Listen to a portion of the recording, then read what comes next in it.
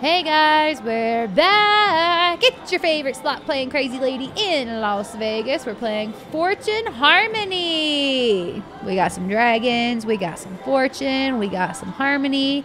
Let's get into it. $100 going in, face up, luck up.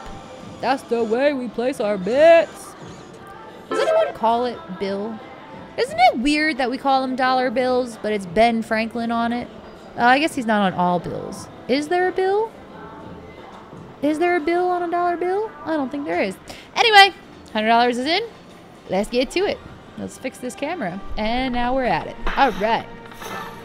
And away we play. Not gonna lie, this machine awfully quiet. Not off to a hot start.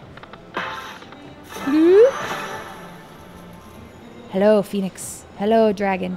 I'm Team Phoenix over here. I have been a Phoenix, after all. A Phoenix. Watch me fly. I'm a peacock, boss. You gotta let me fly. Hashtag Mark Wahlberg. He lives here. The pride and joy of Las Vegas. Mark Wahlberg moves to Las Vegas, which is so bananas to me. I've never seen it make news when a celebrity moves. To, a lot of famous people live here. A lot of famous people live in Las Vegas. It's Las freaking Vegas. A lot of people, like, I don't know, have residencies and perform here. A lot of really famous people. I mean, we own Bruno Mars at this point. Like, he just, he is a, a, a service of ours now. What happened? We filled up already? Woo! I almost missed that. Haha. Apparently we're Team Dragon. Let's go, Dragon. Phoenix awaits.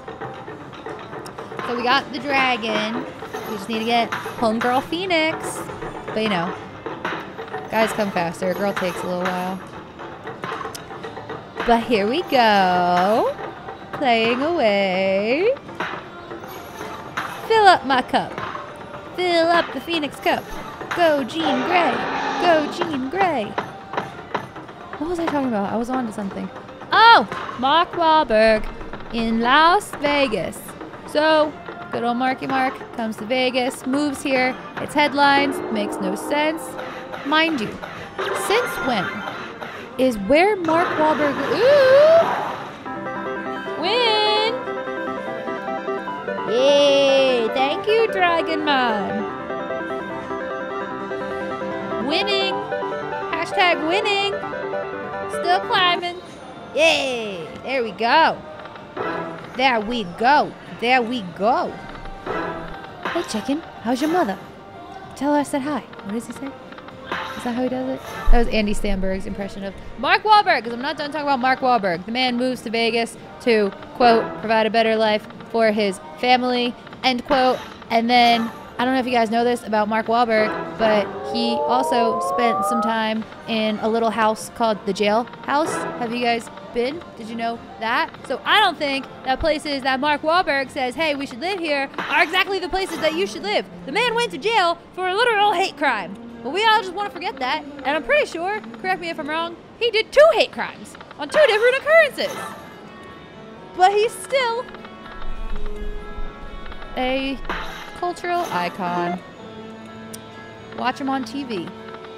Oh, speaking of TV, somebody left a comment. His name is Kid Clay1, and he said, uh, what about the TV story? Uh, and uh, so, shout out to you, Kid Clay. Uh, thank you for watching. Uh, I did, in fact, never finish the TV story. So, in summation, to catch you up, to date, I moved, and I had a TV, and the TV successfully made the move. I, the big boss that I am, uninstalled said TV from house number one. Put it in a box that happened to perfectly fit because I ordered boxes to pack my stuff up in boxes, and the TV fit perfectly in the box that the boxes came inside. I even put some blankets in there, and I like made it all soft and cushiony. Transported it in a truck that I was driving, just a regular Ford 250, whatever the hell truck it was. Drove it, unpacked the house, unpack everything, and I was in such a rush to get this TV hung because I have young children and watching TV matters, and we only have the one TV. And I was like, whatever, didn't have a magnet, so I just kind of knock, knock, knock on the wall, hung the TV all by myself. The thing was hung. It was beautiful. It was centered. It was level. And then I went to uh, make one minor adjustment, uh, making it less crooked, and the whole TV came off the wall, hit me in the head on the way down, and broke. So that had happened. and then, so I plugged it. I plugged it in after um, having a quick little Menti B. I plugged it in and was like, "Oh, it still works." So I just kind of had it propped up on the ground, but the, the one corner was broken. And then it was it was it was passable. It wasn't it wasn't a long term solution, but it was working. And then my son picked it up just a little plastic toy and threw it at the TV, and that was it. That was the final. It survived the fall, but that was the final straw. And then the whole thing shit the bed, doesn't work. So upon moving, which in and of itself is expensive, I had to buy a brand new TV. And I hired people to install it so that this didn't happen again. And after they installed it, guys, I was off by a half inch. Off from the stud by a half an inch. So close. And now there's these giant gaping holes, but they're behind my new TV, so I don't see them. So I just kind of forget that they're there. And then I got this new wall mount. I didn't need to get a new wall mount, but I wanted one. And it has neon lights on it that go with the colors of what's being shown on the TV. It's actually pretty cool. And It was like $20 on Amazon. So, moral of the story don't break your appliances because about seven hours before that, I broke my vacuum. So, caused like $1,300 in damage within the course of eight hours. After moving, after, I did the hard part. Hard part done. Hard part fine. It was, it was the, the after part that wasn't so great. We are down to $68. Maybe it doesn't help that I'm talking about breaking and damaging things. But that's the way we rumble. Are you ready to rumble? Rumpe, rumpe, rumpe. Those are three different songs right there. Want to know the worst thing? You know what? I'm not even going to say it because I don't want to speak it into existence when I'm talking about things that I have broken that I needed besides my mental health, besides my insides. You know, I have a new saying. Have I said this to you guys? My new saying is peace on earth starts with peace at home. So be kind to one another. Call your mother if you have a good one. If you have like a shitty mom, then don't talk to her at all. Uh, but if you have a good one, give her a call.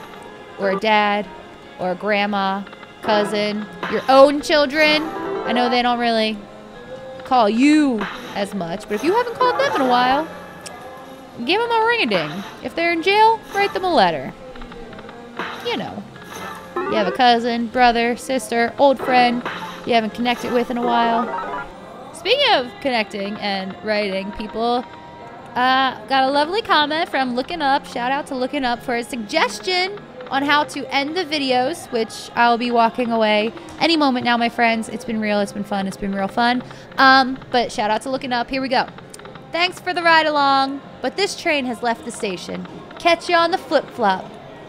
XOXO, Gossip Girl.